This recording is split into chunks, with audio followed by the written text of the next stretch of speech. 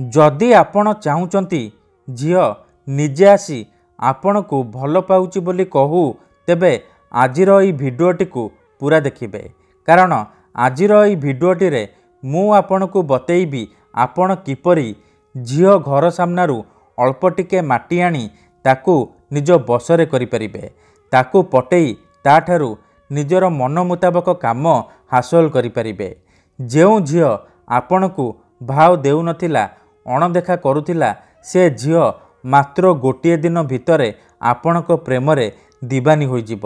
ନିଜେ ଆସି ଆପଣଙ୍କ ସହିତ କଥା ହେବ। ଆପଣଙ୍କୁ ଭଲ ପାଉଛି ବୋଲି କହିବ।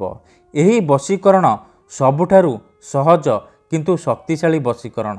ଏଥିରେ ଆପଣଙ୍କୁ ବେଶୀ କିଛି କରିବାକୁ ପଡ଼ିବନି। କେବଳ ଯେଉଁ ଝିଅ ବା ମହିଳାକୁ କିମ୍ବା ଯାହାକୁ ଆପଣ ବଶୀକରଣ କରିବାକୁ ଚାହୁଁଛନ୍ତି ବା ପଟେଇବାକୁ ଚାହୁଁଛନ୍ତି ତାର ଘର ସାମ୍ନାରୁ ଅଳ୍ପ ଟିକେ ମାଟି ଆଣିବେ।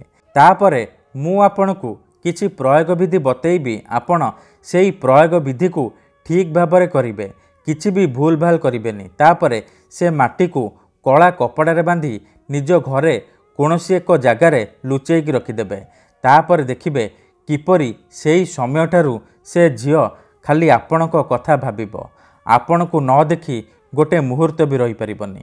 ତେବେ ମନେ ରଖନ୍ତୁ ଏହି ବଶୀକରଣ ବିଧି ମହାଶକ୍ତିଶାଳୀ ଏହାର କୌଣସି କାଟ ନାହିଁ। ତେଣୁ ଏହାକୁ ଆପଣ ଭାବିଚିନ୍ତି ପ୍ରୟୋଗ କରିବେ।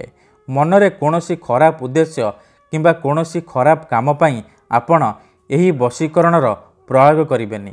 କାହିଁକି ନା ମାତ୍ର ଥରେ ବଶୀକରଣ ହେବା ପରେ ସେ ଝିଅ ବା ବିବାହିତା ନାରୀ ଆପଣଙ୍କର ଗୁଲାମୀ କରିବ। ଆପଣଙ୍କର ଇସାରାରେ ନାଚିବ। ଆପଣ ତାକୁ ଯେଉଁଠିକି ଡାକିବେ ଯେଉଁଥିପାଇଁ ଡାକିବେ ସିଏ ଆସିବ। କୌଣସି ପ୍ରକାର ବାଧା ଦେବ ନାହିଁ। ତେବେ ମନେ ରଖନ୍ତୁ ଏହି ବଶୀକରଣ ବିଧିଟି ଆପଣ କେବଳ ଶୁକ୍ରବାର ଦିନ କରିବେ କେଉଁ ବି ସମୟରେ କରିପାରିବେ। କିନ୍ତୁ ବିଧିଟି କରିବା ପୂର୍ବରୁ ଭଲ ଭାବରେ ହାତ ଗୋଡ଼ ମୁହଁ ଧୋଇ ସଫା ବସ୍ତ୍ର ପିନ୍ଧି ଆପଣ ଏହି ବଶୀକରଣ ବିଧିକୁ କରିବେ। ପ୍ରଥମେ ଆପଣ କ'ଣ କରିବେ?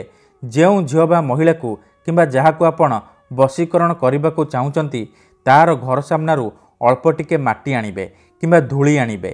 ତାପରେ ନିଜ ଘରେ କୌଣସି ଏକ ଜାଗାରେ ଦକ୍ଷିଣ ଦିଗକୁ ମୁହଁ କରି ବସି ପଡ଼ିବେ ଧ୍ୟାନ ରଖିବେ ଯେଉଁଠାରେ ଆପଣଙ୍କୁ କେହି ଦେଖିବେନି କିମ୍ବା ଅଧାରୁ ଡାକିବେନି। ତାପରେ ଖଣ୍ଡେ କଳା କପଡ଼ା ଉପରେ ଆପଣ ସେଇ ମାଟିକୁ ରଖିବେ। ଆଉ ସେ ମାଟି ଉପରେ ଅଳ୍ପ ଟିକେ ଲାଲ ସିନ୍ଦୁର ପକାଇଦେବେ। ଏତିକି କରିସାରିବା ପରେ ଆଖି ବନ୍ଦ କରି ସେ ଝିଅ ବା ମହିଳାକୁ ମନେ ମନେ ଭାବିବେ।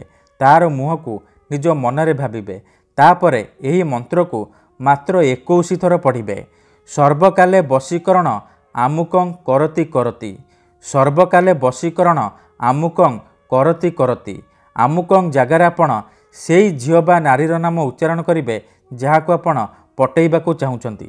ଏତିକି କରିସାରିବା ପରେ ଆପଣ ସେ କଳା କପଡ଼ାକୁ ଭଲ ଭାବରେ ବାନ୍ଧିଦେବେ ଆଉ ନିଜ ମୁଣ୍ଡ ଉପରେ ତିନିଥର ବୁଲେଇଦେବେ। ତାପରେ ନିଜ ଘରେ କୌଣସି ଏକ ଜାଗାରେ ସେ ପୁଟୁଳିକୁ ଲୁଚେଇକି ରଖିଦେବେ। ଧ୍ୟାନ ରଖିବେ ଯେମିତି ଆପଣଙ୍କ ଛଡ଼ା ତାକୁ ଆଉ କେହି ଦେଖିବେନି। ଏତିକି କରିକି ଦେଖନ୍ତୁ ଗ୍ୟାରେଣ୍ଟି ଦେଉଛି ସେ ଝିଅ ଆପଣଙ୍କ ପ୍ରେମରେ ଦିବାନୀ ହୋଇଯିବ। ଧନ୍ୟବାଦ।